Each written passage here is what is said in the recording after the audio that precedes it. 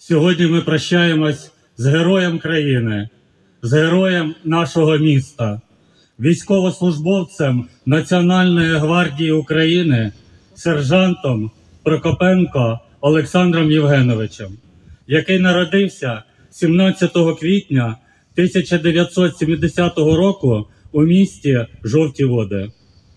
Закінчив середню загальноосвітню школу номер 9 нашого міста. У 1988 році закінчив вище професійне училище номер 35 за спеціальністю газоелектрозварювальник. З 1988 проходив строкову військову службу. Потім підписав контракт на два роки. За час військової служби отримав звання сержант. Працював на ремонтно-механічному заводі, в житлово-комунальному господарстві та державному підприємстві Східний гірничо-збагачувальний комбінат газоелектрозварювальником. На підставі указу президента України про мобілізацію 11 липня 2022 року був призваний на військову службу по мобілізації четвертим відділом у місті Жовті Води Кам'янського РТЦК та СП. Служив у лавах Національної гвардії України. На жаль, 2 серпня 2024 року Олександр помер у головному медичному центрі Міністерства внутрішніх справ України в місті Києві під час проходження військової служби. Олександр надзвичайно любив тварин. Він був добрим та чуйним. Друзі та товариші по службі згадують його як надійного товариша та відповідального військовослужбовця. Серед друзів користувався авторитетом та повагою. У Олександра Євгеновича залишилися донька Маргарита та цивільна дружина Любов Володимирівна. Шановні жовтоводці, від імені командування Національної гвардії України, Збройних сил України, від голови Жовтоводської громади, від себе особисто та від всіх вас висловлюю глибокі співчуття рідним, дружині та близьким загиблого. Прошу шанувати пам'ять загиблого героя, сержанта Прокопенка Олександра Євгеновича хвилиною мовчання.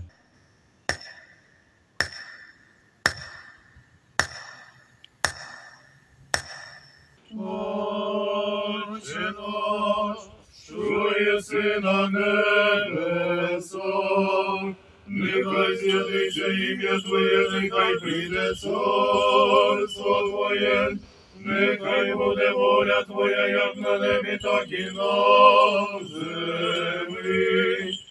Ось ми зараз в ці важкі часи, коли ми з вами намагаємось побороти страх, намагаємось прийняти ту істину, що перемога буде. А іноді, коли дивимося телебачення, коли гортаємо Фейсбук, інші інтернет-ресурси, впадаємо в паніку, починаємо боятись, починаємо втрачати те найважливіше, що повинно нас бути це віру. Віру в Бога, віру в перемогу нашим Богом даної держави над ворогом, віру в наших воїнів. І ось цю віру втрачати не потрібно.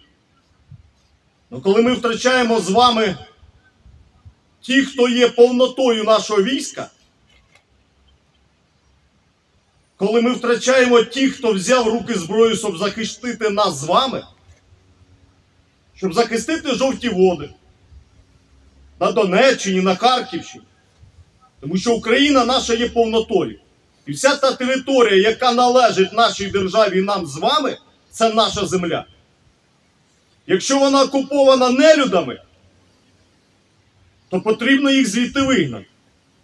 І ось цю місію на себе беруть наші з вами ангели-охоронці, які ціною неоціненою ціною свого життя оберігають нас з вами. Но їхні душі коли тіла їхні зазнають неповторного, тобто смерті, їхні душі безсмертні. І ось царство небесне, світла і вічна пам'ять людині, яка захистила нас з вами. Нехай Господь зменшить біль утрати рідним і близьким. А від нас з вами залежить тільки одне: пам'ятати їх, згадувати їх, знати, за що вони віддали своє життя, і робити те, що робили вони. По мірі своїх сил. Є матеріальна можливість, матеріально допомагає. Є фізична можливість, фізично допомагає. Є духовна можливість, молимося, приходимо в храми, ставимо за них свічки. І за тих, кого з нами немає тілом, і за тих, хто за нас стоять на фронті ці важкі часи. Царство Небесне і світла вічна пам'ять героїв. Слава Україні! Героям слава!